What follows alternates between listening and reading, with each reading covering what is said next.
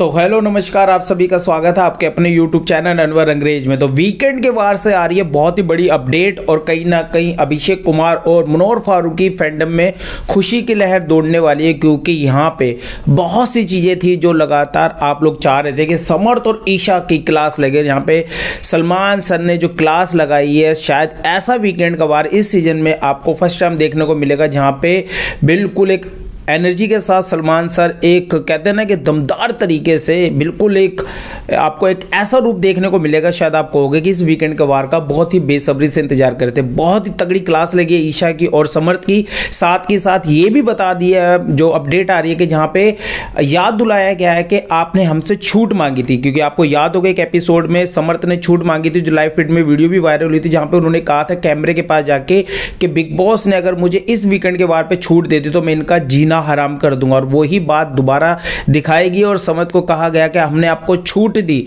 और हमने देखा कि आप और कितना गिर सकते हो। तो वो छूट ये नहीं थी कि आपकी अच्छाइयों पे हम छूट देना चाहते हम ये देखना चाहते समर्थ और ईशा, आप और कितना नीचे तक जा सकते हो, कितना और कितना पोक कर सकते हो।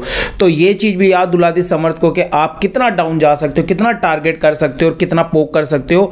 तो जो छूट का आपने फ़ायदा उठाया, जो ग्राफ आपका इतना ऊँचा था, वो एकदम से गिर चुका और आप, आपकी गेम बिल्कुल ज़ीरो बटा सन्नाटा हो चुके सब। और सलमान सर ने कई चीज़ें याद दिलाई कि समर्थ, आपको हम इतना अच्छा आप इंटरटेनमेंट कर रहे थे, आपको हम लगातार ईशा की गेम को हम बिल्कुल सराहना कर रहे थे, लेकिन आपने दो हफ्तों के अंदर अपनी पूरी गेम को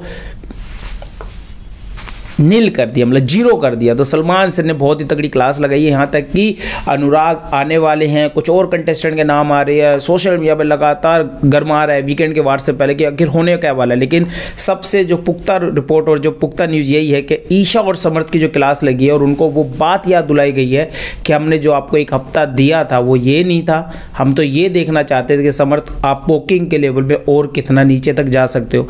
इस वीडियो में आपकी क्या है राय प्लीज़ कमेंट करके ज़रूर बताना और क्या समर्थ और ईशा को भी अभिषेक के साथ घर से चले जाना चाहिए? क्योंकि अब तो गेम बिल्कुल ख़त्म हो चुकी है और वो पोक कर रहे हैं, गालियाँ भी दे रहे हैं। मनोहर फारूकी को भी काफ़ी कुछ कहा है। और साथ के साथ जो हाँ में हाँ मिला रहे थे, अरुण बाबू, सलमान सर ने कहा, आप भी साइड आइए, आप भी कोई दूध के धुले हुए नहीं हैं। तो प्लीज़ लाइक ज़रूर करें सब्सक्राइब करें और कमेंट करके बताएँ कि आपकी इस मुद्दे पे क्या है राय।